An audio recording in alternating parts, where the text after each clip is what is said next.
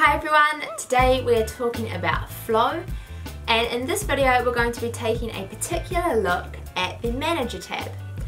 The manager tab in flow is where all of your resources are kept and just to kind of jog your memory there, our resources are our individual variables of data. So they could be things like um, a string, so some text, or a number, uh, perhaps currency, perhaps a record itself, or collections of records or things like that. Um, you know, with talking about variables, we're talking about constants or formulas or all of that sort of thing. That's all resources. Now, in our manager tab, this is where all of our resources are kept um, and they're kind of broken up into certain terms which we're going to be covering in this video. So the first type of resource which we can find in our manager tab is variables. And variables are where you can store data that we're going to be using in Flow. As we were saying before, these can be texts, numbers, records, dates, currencies, uh, booleans as well, uh, pick lists, just to kind of name a few of them. You can make a variable a collection variable, which means that it's holding multiple variables for multiple different records, but you have to remember that they've got to be of the same data type.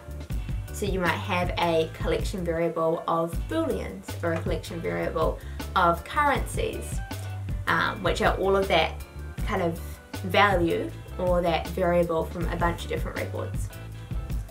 Now, if you wanted to have a collection where you had a kind of collection of different variables within it, so you might want to have, you know, boolean, text and um, currency and then have a collection of all of three of those.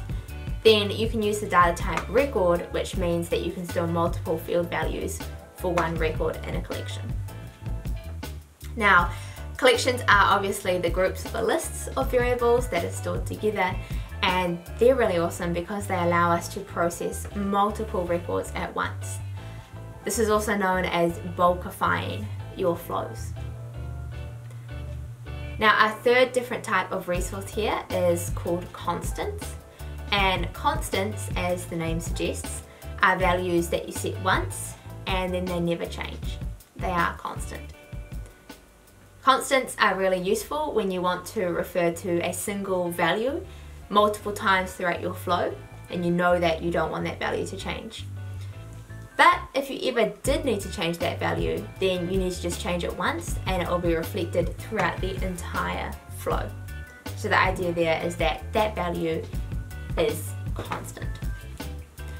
Formulas are the next type of resource that we have and a formula displays a dynamic value depending on other values that you have in your flow. If you need to calculate a future date, for example, based on when a flow was run, then a formula is going to be super helpful. If you need to calculate and set currency based on interest rates, then that's another example of when a formula can be used. Our final type of resource here is choices. And choices are used within the screen elements of Flow to display an option to the user. So that's it on the Manager tab in Flow.